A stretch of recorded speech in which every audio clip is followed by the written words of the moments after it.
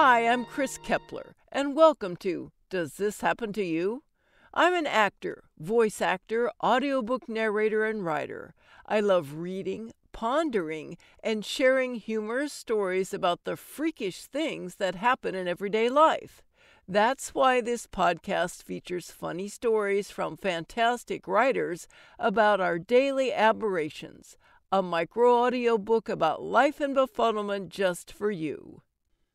Our story this week is from Kerry Kramer, who you'll find on Medium.com, and here is Menopause Unleashed, a hilarious survival guide for ladies of a certain age. True stories from a 70 year old survivor. Dear ladies of a certain age, you have my sympathy and my encouragement. Hang in there, dearies. It will be over soon. Maybe not soon enough, but it will be over. Just a warning the memories may haunt you forever. It happened to me almost 30 years ago, and I wish I had been better prepared for the change of life. I thought the least I could do was share my experience with those of you who are facing menopause to help you be more prepared than I was. I'm a nice old lady. Clue number one the change is near irregular periods. I was standing on the altar of a Catholic church waiting to distribute communion at my friend's son's wedding mass. I stood up there for four and a half painfully long minutes while the vocalist sang the entire song of Ave Maria. I was looking out at the congregation, feeling awkward, and no doubt looking stupid, when it happened. Drip, drip, drip. How could this be? I haven't had a period in such a long time. I thought I was done with the whole mess. What am I going to do? I did as many kegels as I could, hoping to stop the flow. With legs held tightly together, I walked off the altar to the front aisle and just kept walking. Down the aisle, out the church door, to the bathroom. Surprise, it was a full fledged period. Rule number one wear a sanitary napkin or disposable adult diapers for the rest of your life, just in case. Clue number two the change is near. You gain weight. Once your periods start to wane, your weight starts to gain. Remember the freshman 15? Well, it's the menopause 35. At least it was for me in one year. I remember attending my Aunt Ardella and Uncle Ralph's 50th wedding anniversary party. I had to buy a new dress since nothing fit anymore. I'll never forget it. I loved that dress. It became my uniform during my personal summer, as we called the change. It was a navy blue sleeveless maxi dress with a sailor's style collar and gold buttons down the front.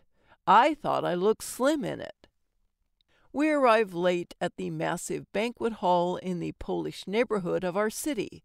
All 200 of my closest relatives were already seated, waiting for the kielbasa, sauerkraut, and potato cheese pierogi dinner to be served. My Aunt Ardella and Uncle Ralph were in the front of the room when we walked in. As I hugged her, she yelled, Well, it looks like you joined our club. Everyone looked up. Side note, she was hard of hearing, and I used to have a very nice figure. What club?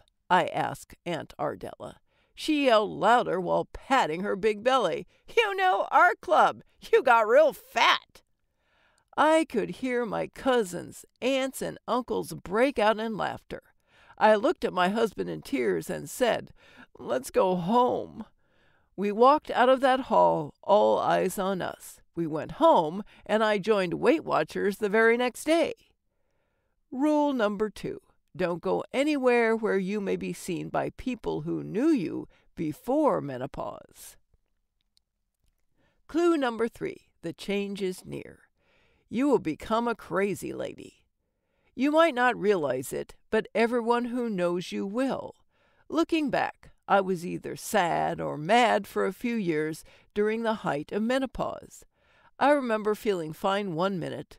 The next minute, I would be sad and depressed, or in a rage over what I don't know. I can remember one of my crying rages in vivid detail. It came out of nowhere. I was washing the dinner dishes while my two teenagers, with their gangly bodies, were slouched on the couch, devouring a whole pan of pizza rolls, even though we had just finished dinner. The Facts of Life was blaring on TV. I started to cry. Standing at the kitchen sink, it crescendoed into a loud, ugly cry. My kids turned around and asked me what was wrong. I can't have kids anymore, I blubbered. They laughed hysterically, almost choking on their pizza rolls. They started making fun of me, which made me mad, so I did what any menopausal mama would do. I took my arm and swept all the dishes, pots, and pans on the counter to the floor in one fell swoop. As they stared at me, I realized I had become crazy. I have two teenagers. I don't want any more kids, even if I could still have them. Plus, sex? Really? They looked scared. They asked, Mom, are you all right? Yes, I'm fine, I said, and calmly finished the dishes as my kids picked up the broken plates. Now I knew they were scared. Rule number three always carry Kleenex and a Xanax.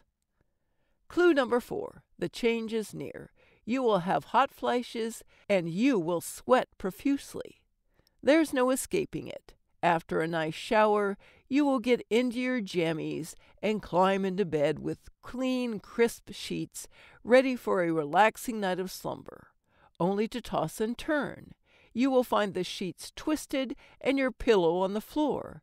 If you sleep with a partner, he or she will have moved to the spare bedroom. Your sheets, hair, armpits, private areas, and jammies will be soaked with sweat. If you are anything like me, and I hope to God you're not, you will peel your wet clothes off and take refuge outside. Fresh air feels good, even in Ohio, in the snow, but naked.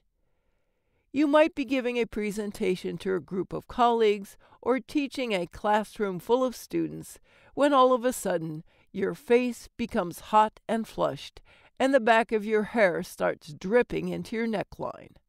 Oh, the perils of menopause. Rule number four always have an escape plan to cool off, a change of clothes, and a dry towel handy. Clue number five the change is near. Your period stops, and it will be over. You will be free. No more Tampax, Kotex, or menstrual cup. No more birth control. No more hot flashes and night sweats. No more mood swings unless you are bipolar, and then that's another story. No more weight gain. Or maybe you will give up trying to lose it and say, What the hell? I'm fat and sassy. Either way, you will be free. Rule number four Always remember your elders have paved the way for you, and we survived it. Remember, too, that we sympathize with you and encourage you to get through this time in your life with as much grace and patience as you can muster. Life will get better. But in the meantime, wallow in self pity, eat whatever you want, and stay away from people, unless they are also menopausal women. Good luck, dearies.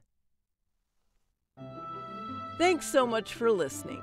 If you enjoyed this story, let me know and share it with your friends. Follow me at Kris Narrates on Twitter or Kris K. Keppeler on Facebook, or check out my website, kriskeppeler.com.